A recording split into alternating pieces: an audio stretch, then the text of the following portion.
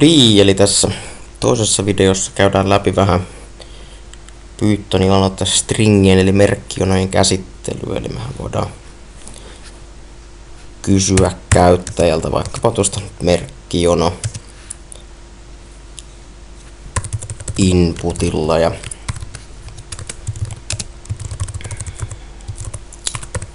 Noin, ikkästään. Käyttäjä saa syötettyä tuohon merkkionon. Tuota, tuota, kysytäänpä nyt vielä joku numerokin siihen kaveriksi, eli sitten me tarvittiin tota inttiä, että me saatiin sillä inputilta otettu numero, muutettua siitä saadusta merkkion muodosta sitten oikeaan, oikeaan numeromuotoon.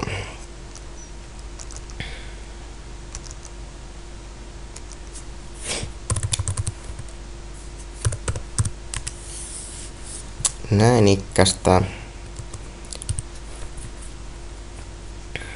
Nyt me voidaan siis syöttää tänne merkkijono ja numero. No ohjelmahan ei niillä mitään vielä tee. Ja tuolla numerolla voitaisiin nyt, että tulostetaan se luku kertaa kolme jaettuna seitsemällä miinus 65. Ja sitten tää. Otetaan tuohon, saadaan nyt vähän isompi luku, niin tuo verran ja tonne alkuun laitetaan vaikka 128 plus. Eli nyt saadaan jonkun verran lukua. Sitten otetaan tänne vielä yhdet sulut, jossa toi koko paketti korotetaan kolmanteen potenssiin. Katsotaan mitä tulee nyt. Kysytään ensin sitä merkkijonoa ja sitten numeroa ja nyt sieltä tuli aika iso luku. Ja kuten huomataan, niin siitä tuli tollanen desimaaliluku, eli tehdään sitä nyt silleen, että otetaan toi luku 2 on yhtä kuin tuo laskusuoritus, eli laskutoimitus, eli me voidaan tuohon luku 2 tulostaa. Sitten vielä tehdään luku 3, joka on tuo luku 2 pyöristettynä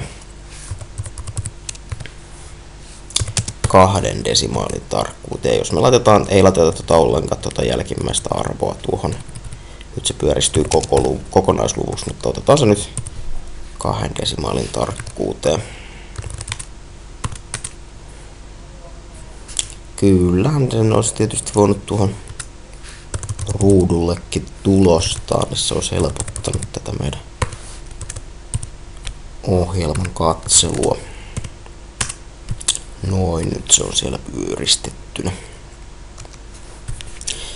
No, tehdään silleen, että siirrytään toi tuolta alusta nyt tähän loppuun. Kysytään siis merkki jono. Se voidaan tietysti taas tulostaa ruudulle. Sitten tota, me voidaan tehdä sillä taikatemppuja, eli otetaan merkki on kakkonen tohon moi plus mj plus piste vielä sinne loppuun. Ja tämä voidaan nyt sitten tulostaa ruudulle. Sen lisäksi voidaan sitten esimerkiksi tehdä merkki on kolmonen, joka on tuo ensimmäinen merkki on kertaa kolme, eli se toistetaan kolme kertaa. Ja tämäkin voidaan tulostaa ruudulle. Katsotaanpa mitä, mitä se ohjelma nyt tekee. Sinne tulee se, ja nyt jos me tänne laitetaan että ananas, tuohan nyt tulostaa sitten tietysti ananas ja sitten kun tonne olisi laitettu vielä oikein muuttuja, niin oltaisiin päästy kohille, eli ananas.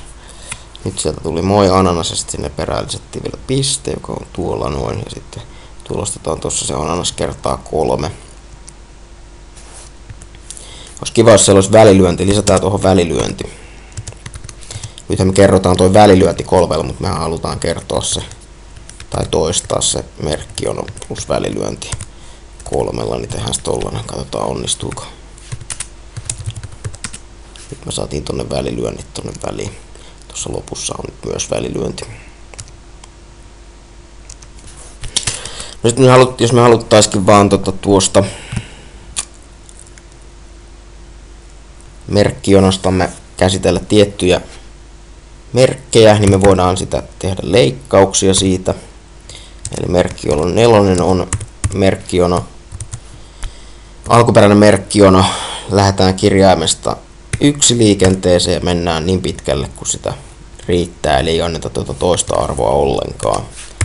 Merkkiono vitonen, sitten tuo alkuperäinen merkkiono, lähdetään alusta, eli nollasta, indeksi Nolla on siis se ensimmäinen kirjain, eli tämähän siis jättää sen ensimmäisen kirjaimen pois ja aloittaa kirjaimesta numero yksi.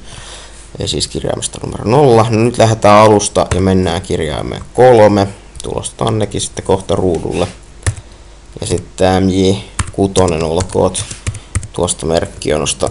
Hops, nyt otin vahingossa screenshotin.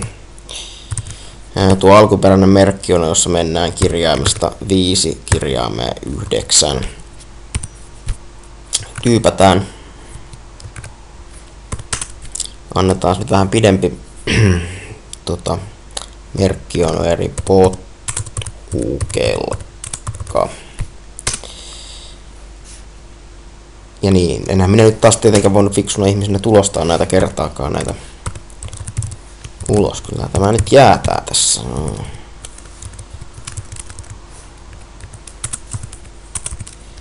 Kaatutaanpa sitten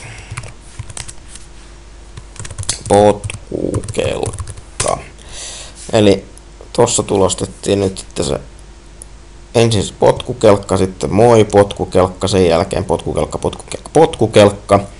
Sitten tässä otettiin se ensimmäinen kirjain, nollaskirjain pois ja lähdettiin, tuli siis potkukelkka. Sitten tulostettiin kolme ensimmäistä kirjainta, eli 0, 1 ja 2, ei sitä indeksissä kolme olevaa kirjainta jolloin saatiin pot. Ja sitten tulostettiin kirjaimet viidestä yhdeksään, eli sitä ysiä ei taaskaan tulostettu, eli täällä on neljä kirjainta kiellekin. No sitten MJ7 on, tuo alkuperäinen merkki on alusta loppuun väärinpäin, eli askellus onkin miinus ykkönen. Normaalisti se on ykkönen, eli hypätään aina seuraavaan kirjaimeen. MJ8 on tuo alkuperäinen MJ alusta loppuun askelluksella 2, eli joka toinen kirjain. Otetaan vaan huomioon, eli kirjaimet 0, 2, 4, 6 ja niin päin pois. Sitten tehdään vielä tohon, eli MJ9 on tuosta MJstä merkeistä. Mennään merkeistä kolme merkkeihin 9 ja askellus miinus 2 eli väärään suuntaan ja kahden pykälillä. Ja nyt muistetaan, että voidaan tulostaa nämä ruudulle tässä näin, niin ei tarvi ajaa ohjelmaa sitten uudestaan sen takia, että unohtui tulostaa ne. Kahtotahan mitä tapahtuu. Pot, no ei laiteta nyt potkukelkkaa, laitetaan hapankaali. Eli hapankaali, siitä jäi nyt se eka kirjain pois. Sitten hap, eli ne oli kolme ekaa kirjaa, sitten kaal, sieltä se viitonen ysi. Sitten hapankaali väärinpäin on näin paljon. Ja joka toinen kirjain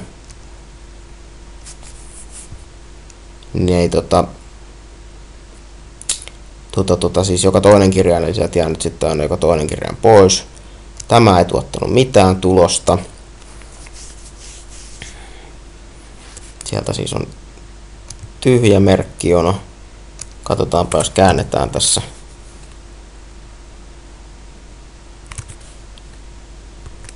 nuo toisinpäin.